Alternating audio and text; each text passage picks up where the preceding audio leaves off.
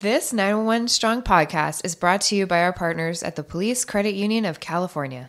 As a financial institution founded by law enforcement for law enforcement and their families over 65 years ago, they have the experience and understanding to help you with all your financial needs. including exclusive products designed specifically for law enforcement professionals. To become a member today, visit thepolicecu.org. That's the police, the letter C, and the letter U.org. Or call 800 222 1391 and tell them you heard about them from the 911 Strong podcast. Hello. On this ASMR, I'm just kidding. hey guys, it's Aram. And Kristen. And this is a 911 Strong podcast. And uh, on this episode, we're going to talk about the changes affecting law enforcement, why it's so hard to retain law enforcement personnel, and why so many of our existing law enforcement personnel are leaving in droves. Mm-hmm. Should be an interesting one. It should be. It will be. Yep. Stay tuned for this episode of The 911 Strong podcast. that starts right. Now, Station to all units. Prepare to copy. You're listening to the 911 Strong Podcast. Don't act like I never told you. With Aram and Kristen bringing you stimulating discussion. No, I like the sound of that. An entertaining conversation. And now, here's Kristen and Aram. Guys, welcome to the 911 Strong podcast brought to you by the Police Credit Union of California. With me, as always, is dispatcher Kristen. hey, So, speaking of dispatchers, how how's the personnel situation going right there? you know what? I can't complain right now because we just hired two more dispatchers. Um, so we're up. We were up two, but we lost. We didn't really lose one, but one is temporarily gone because she had a baby, and then um, we still have, I believe, two other positions, but they did away with those spots altogether. Oh, So we're short staffed. Um, we're down a supervisor and we're down two positions that technically we should have. So we're still running short, but not as short, I guess, if that makes sense. yeah, and that's really just a micro view of what's happening at every agency across the country right now. We're seeing unprecedented shortages in personnel, not just the sworn people, but uh, dispatchers, records, uh, all the support staff. Um, it's gotten to the point now where we've seen agencies start contracting out their services. We have a nearby agency that just a year ago could not staff their graveyard shift, so their entire graveyard shift had to be contracted out with the local sheriff's department. Really? Yeah. I didn't know that. Yeah. I'm not surprised though. Yeah, it's pretty sad, and Yeah. we're we're just in a situation now where officers and dispatchers and records person, anybody affiliated with law enforcement, they're seeing so much negative being thrown their way Mm-hmm. that the ones that are eligible to retire are doing what? Retiring. Yeah, they're like, screw it. It's Yep, not worth done. sticking Over. Mm-hmm. around. I'm out of here.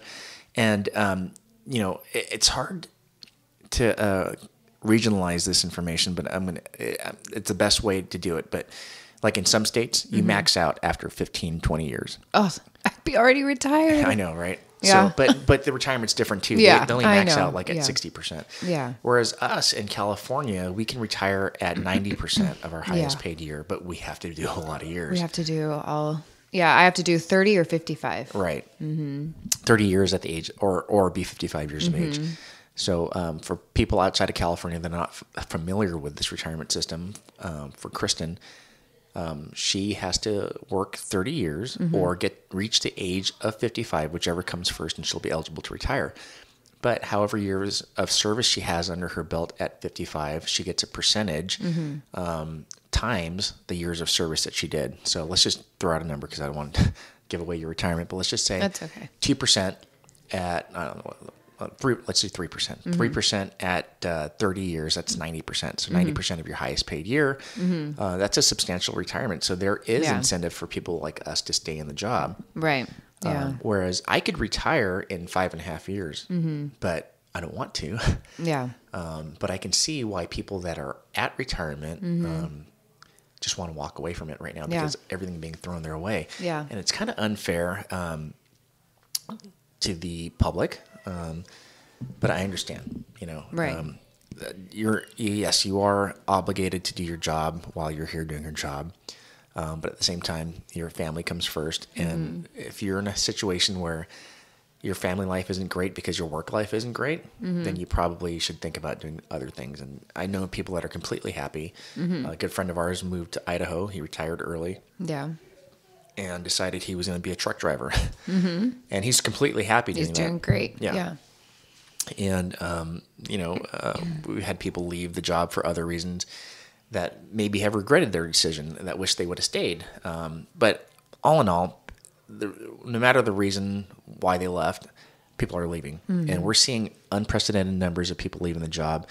Uh, retirements increased by 45% last year. Yeah.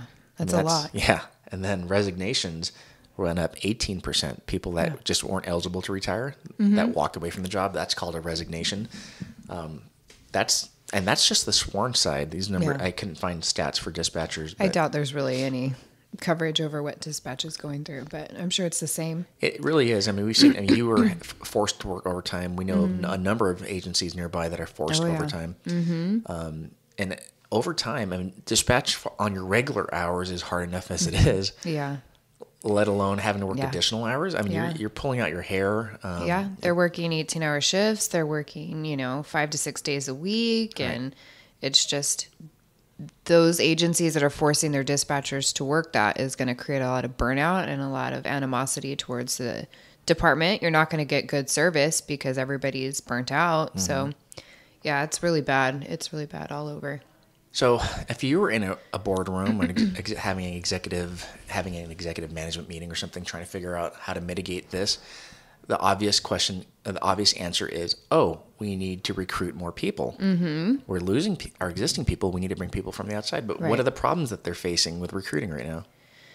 Well, I think a lot of it too, depending, I mean, again, depending on what agency, it's how they're recruiting too. Like if you just put it up on a website, like you're going to get very minimal recruits. So, you know, you're going to have to make it more obvious and more enticing. I know that there's some agencies that pay for people to come interview or they're giving them the signing bonuses and stuff like that. And Palm You know. Springs Police Department is giving a thirty thousand dollars signing bonus for new officers. yeah, how That's, crazy that's a down payment on a house. Yeah, that's crazy. It's just crazy. I remember I was in um, Chicago and one of the um, captains there was just saying they can't keep them. Like they used to have to fight people to like to or not fight people, but I guess it was really like they had their pick of the litter, right? Like who everybody wanted to come Yep. to Chicago PD, and if they couldn't, then they go to the smaller surrounding agencies and wait for their chance to come. And just due to the the uh, climate that's out there in Chicago, kind of like I guess LA, like nobody's putting in for anything. Yeah. So there there's so many vacancies. So it's how are you going to entice somebody when a maybe part of the department won't, doesn't support their own officers, and then you know the the mayor or city or whoever doesn't support them either. Right. It's scary to think about. Mm-hmm. Like, you know, I'm 23 years now into the job. Mm-hmm. Is it 23? I don't know. I'm 22.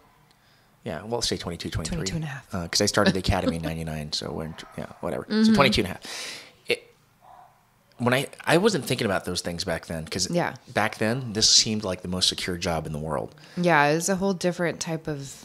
Right? I guess, But now when you're thinking about entering a career, knowing that you have to do this for the next 30 years or so, um, it's probably scary, right? Going, hey, how am I gonna how am I gonna survive? Sure, I'm healthy enough to survive it.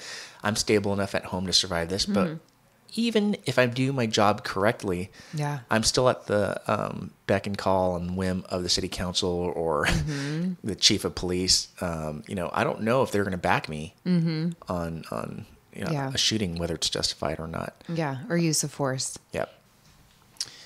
So yeah, if you're a young officer looking at a career now, it's you have a lot more to think about. I mean, your Yeah. parents probably are telling them, Probably, "Yeah, hey, I don't want you you, know, to do this." pick Yeah. a plan B. Yeah. Yeah. And it, it's so hard because It is. this this day and age. Younger people are so connected to media, Mm-hmm. the, the news, um, internet news, and whatnot that they're they're probably buying into a little bit of it, right? Unless you intimately know, that, unless you grew up in the job or Yeah. Yeah, I mean, to some extent, because that's the new, new recruits are the ones that are up and coming. I mean, that might be all that they're familiar with. So you only know what you know until you know. You Right. know? That's So- why I think the Explorer and Cadet program is so good. You know, we have a couple Yeah. cadets at our agency, and um, they know the culture, you know, because they're they're young. They're, Mm-hmm. Yeah. A lot of them are 18, 19, 20, going to college and Yeah. using this as a job and exploring the possible the feasibility of maybe staying in the job and seeing if they can even do it. That's why I think the cadet program is great. Mm-hmm. Um, a lot of them are like, hey. Um, we're misunderstood. These guys aren't prejudiced. These guys aren't racist. They're not Yeah. abusive. I hang out with them every day Yeah. uh, unless they're putting on an act for the last two years, I think I know them pretty Yeah. well. And so they feel confident in going into the job. But what hurts them is when they see uh, an officer that does everything justified, um, you know, like Officer Dages uh, from Yes. Mm-hmm. um, San Diego area. He, he recently won his case. Yeah, thankfully. Um, I talked to his attorney, Casey Castillo. Uh-huh. Um, you know Casey? no, I don't think so. I- I'll tell you who she is later, and you'll Okay. you'll remember who she is. okay. Um, I'm bad with names. Yeah. Um, but she's an awesome attorney. Mm-hmm. Um, she's a, an LDF attorney, uh, and she represents a lot of police agencies and police departments. Mm-hmm. And this case, a lot of people didn't want to touch um, because it was in the media. But she Yeah. was like, "Hey, we're going to handle this." Um, hopefully, in the near future, we talked about getting him uh, on onto our podcast to Mm-hmm. And talk about wife, what yeah. happened. But um, it should have been maybe maybe five years ago. This would have been cleared, no problem Oh, yeah. But because of the current political Yeah. Mm-hmm. climate, um, he ended up getting in trouble, lost his job over it. Right. Um, so, so long story short, let's just say you're a cadet now and you're seeing this case. Wait a minute, he did everything right, and the Right. He did it by the book. Yeah, and the Yeah. department's not backing him. Mm-hmm. Why would I want to do this job? Mm-hmm. You know, Yeah. um, and it's got to be scary. And then, Yeah. and I can go on and on about how fast the years go by because it, it really has It does. It does go by fast. but a lot of things can happen during that time, you know. So it, it is scary, and I don't want to convince anybody. I used to be the guy that was like, "No, dude, you, this is an awesome job. Do it." But I also feel like now, if I encourage someone to do it, I take a little ownership. Yeah. Should something happen to them, I You know. hate to be that guy that says that gets approached later on, dude. You told me to do this job, and now here I am, um, yeah. fired. Thanks. Yeah. Thanks, something. But I mean, the pendulum will eventually swing back at some point in time. It's just, it's going to be a long time, I think, for this one. And unless, God forbid, we have some insane tragedy like 9 11. But even then, I don't even know because our, Right. our top government leaders are so two faced, I guess. Mm-hmm. Yeah, I, I, mean, we say. 9/11 was the right combination of good things. We had the right leadership. Had, Yeah. you know, it just all kind of fell in line in, in that aspect, I guess. But, and then, I mean, you can even say, well, do your research with departments and what their policies are and their retirement and all that stuff and how they police. Like, our city polices a lot differently than other cities.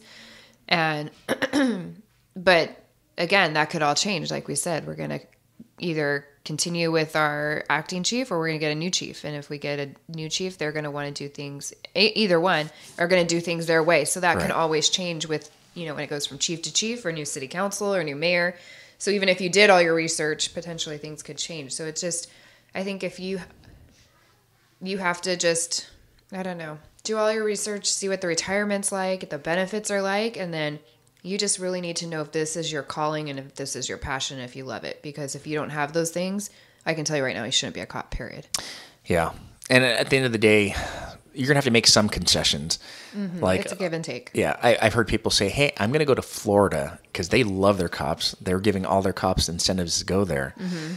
but their retirement isn't that great. Their pay mm-hmm. isn't that great, and um, at the end of the day, why, we're not doing these jobs for free, right? We're mm-hmm. doing them to support our families."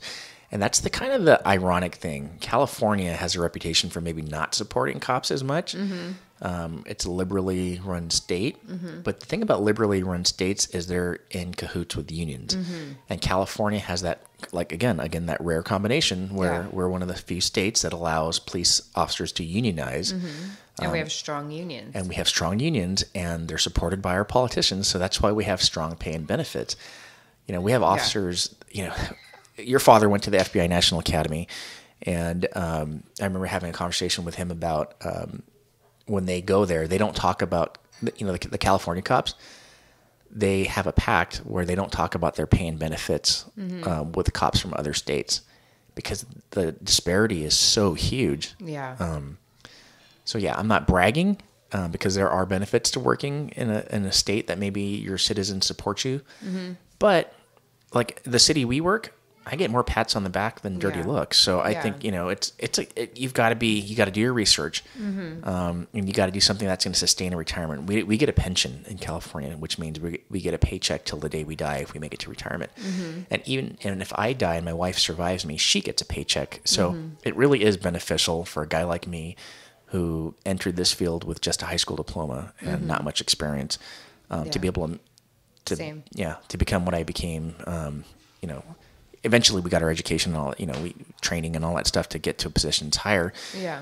But we were really lucky to enter this this job um, with just a high school diploma Mm-hmm. and uh, make it to where we are today. We live pretty comfortably. Yeah. Um, we have friends that are doctors that live just as comfortably as we do, and it's like we look. We sometimes have to pinch myself. You know, um, I pull Yeah. up, and you know, I go to your house and it looks like a house out of. Uh, Oh my gosh. a magazine. it.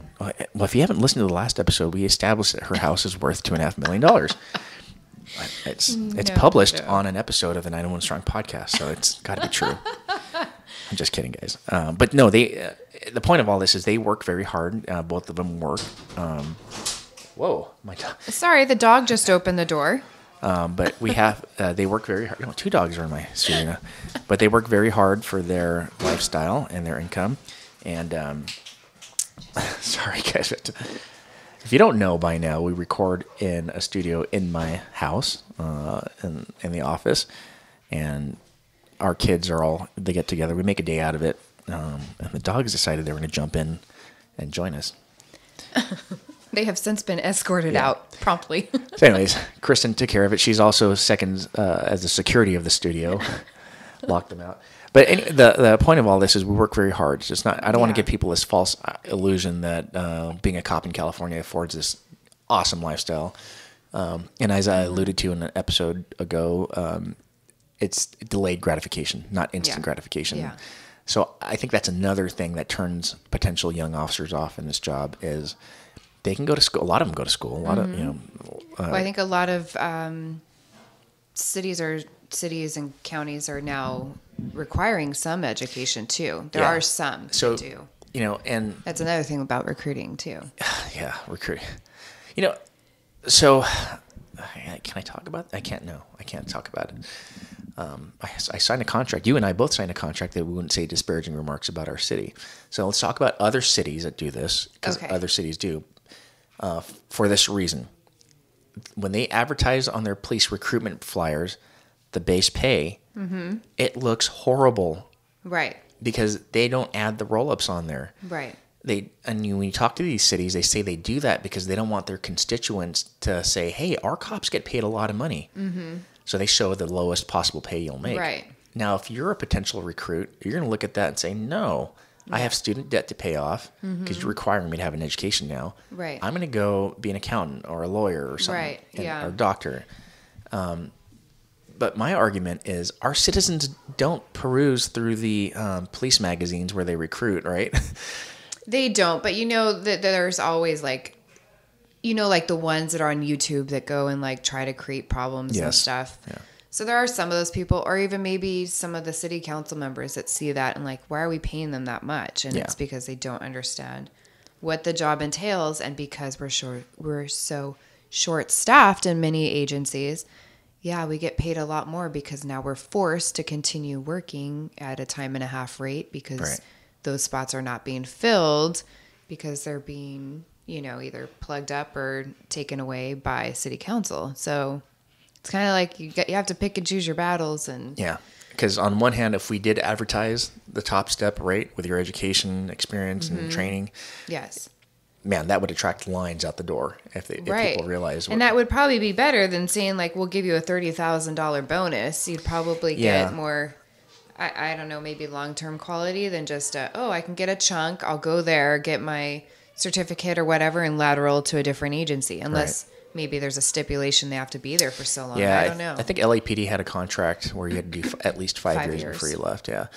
Um, I was with another large, uh, well, I can say it, at public the sheriff's department, and they didn't have that contract. Uh, but I left after five years anyway. I was vested, and Mm-hmm. Yeah. um, at, when I came to my agency at the time, they were like the third highest paid agency in Southern California. Mm-hmm. They had the best benefits, um, and so people were, were lining, you know, up Yeah. out the door. But that's my point is they were known for having great pay and benefits. So obviously you're going to attract the travels. Mm-hmm. best candidates. Now, if you're an agency that is showing the least favorable pay and benefits package, you're not going to get the most qualified candidates. You're going Mm-hmm. To get the I hate to say it, the bottom of the barrel. Yeah. So unfortunately, we're as a as a profession, we're scraping the bottom of the barrel. We're not getting the best candidates right now. There are, I'm going to do disclaimer, there are some good candidates that are out there, but overall, I think throughout the country, Yeah. you're going to get some some not qualified people because of how your cities run or counties run or and what you're offering them. Yeah. Uh, you still are still going to get those people that are like, no, it looks fun. I'm going to do it. And they realize that, you know, it's 80% of the job is paperwork and Yeah. they leave. But for the, the people that really want to make this a profession, they've done their homework and they know what it is. They've been on ride alongs. They, And you can tell when you're um, interviewing them too, Yeah. who's done their homework and who hasn't. Yeah. Well, I have. I am fearful that this will continue until, like you said, um, we have a another major event. Um, you know, the pendulum needs to swing the other way, and when it does, you know, I'm hopeful that we'll have great candidates again. Agencies Yeah. won't struggle to recruit, but right now, um, we've, we're just putting a bandage on things. We're not, Yeah. um, you know, the the sieve is leaking, and we're just putting bandages on selective holes and and hoping that we don't Yeah. lose everything right away. It's, it's more, it seems like it's more uh, what can they do right now and what, instead of what can they do to take care of like the future and like already start working on that. You know, like you said with the whole band aid thing. yeah. So it's just, they just see what's in front of them, not like what's in the distance. Yeah. You know what I thought was was pretty unique about your daughter? Your daughter is uh, she turns 22, right? No, she just turned 20. Oh, I'm sorry, she just turned 20. I don't know why I had 22 stuck in my head. I don't know, but don't, yeah, don't fast forward for me. But I mean, unlike people her age right Mm-hmm. now, this generation, she moved out on her own. Right. She got a job on her own. Yeah. And you don't see that. That was our generation when we were growing Yeah. up. We couldn't wait to do that. We were out of the house by 18 because that's what we wanted to do. But Yeah. You can't do that now because Yeah. it's expensive. But the ones Yeah. that can, it shows a lot of initiative. Those Yeah. are the people that we want applying for police jobs. Yeah, I mean, it's just like you said, it's as many benefits as there is to California. There are a lot of good things, but for this newer generation trying to move out on your own, she was, you know, kind of apartment shopping with her friends, and it was going to be, I think, eight hundred to a thousand per person just to move out with mm. roommates. Yep. Whereas with us, I'm sure it was probably a couple 100 Um, so yeah, so she ended up moving out of state, and now it's only a couple hundred for her to live in a nice house with a huge backyard instead of a tiny little apartment with you know individual parking stalls. And um, she's in a beautiful city, and yeah, she she got a good job and over minimum wage, and yeah, she's on her own figuring it out, and still going to school too. Right. So So that does give me hope because there determined are people like that out there, even in this generation. Yeah, I know we always like to put bad things on each generation that comes up, but I mean, I think with it all comes down to uh the parents. So the people who are older that are complaining are complaining about their kids or you know their grandkids, but who right. do they learn it from? All right, final thoughts. Where do you see the recovery happening? Do you think it's going to happen in 2022, or do you think it's going to still be a couple more years? I'd say 23 or 24.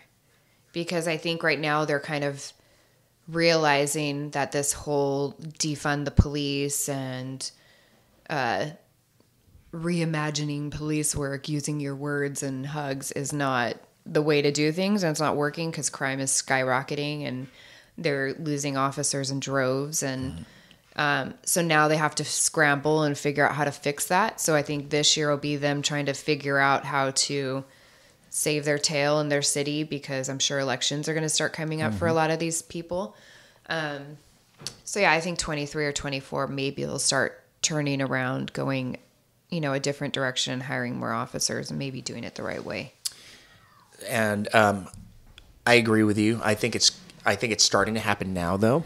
Um, you see a couple politicians that were mugged, Mm-hmm. carjacked, celebrities that are now saying, "Hey," the ones that live in LA, yeah they're like, "Hey, this is not working." You're um, the the people and now that, they're being affected Yeah. yeah So I think as as I hate to say it, but more of these influencers, celebrities, politicians, Yeah. um, bad things happen to them, and they feel like what it, they feel what it's like to be the common person.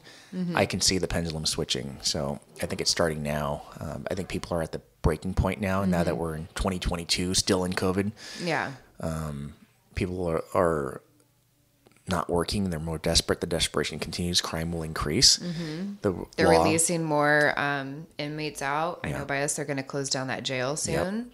I think people are going to get fed up, and I think it's Mm-hmm. going to swing the other way. Hopefully. Hopefully, hopefully. I'll give you that. Yeah. So, you know, you young people out there, or even middle-aged people that are thinking about jumping the jumping careers and joining the law enforcement, um, you you heard it from us, people that have been on the job for quite a while. The pendulum's going to swing, and it's going to happen soon. And we Uh, need good people. yeah, and that's at the Good, solid. look. I've made my career not being the best cop, Mm-hmm. right? I'm not the best. I wasn't the best gang guy, the best drug guy, um, intelligence guy, whatever. But I was a good person, Mm-hmm. Yeah. and I think I've you know I've climbed the ranks pretty good and made a career out of being a good person. That and you you hit it on the nose. We need good people because at the end of the day, when it comes to co- being competitive for promotions, would you promote the guy that had the most arrest stats if he wasn't a good person? Right? Uh, well, now I'm going to beg to differ with you because it depends on your definition of good person. I'd rather have there. There are a lot of people that are amazing officers, but not the best people outside of work. I guess you could say.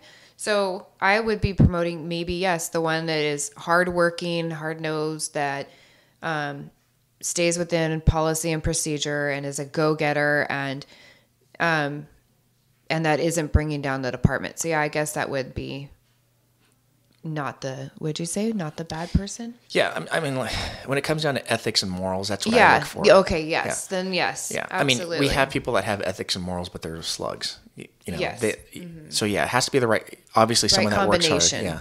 Yeah. but if you have like your three, your top three have equal stats, Mm-hmm. but one guy isn't as morally, his compass isn't pointed the in right the right direction. direction. Yeah. You're going to look for the person that's a good person, right? Yeah. So that's what we're looking for. We need more Yeah. good people. The work ethic will be there because that gets weeded out in the academy. Yeah. Uh, you know, if you're not a hustler, we'll find out. It'll get weed- weeded out during training. We, Yeah.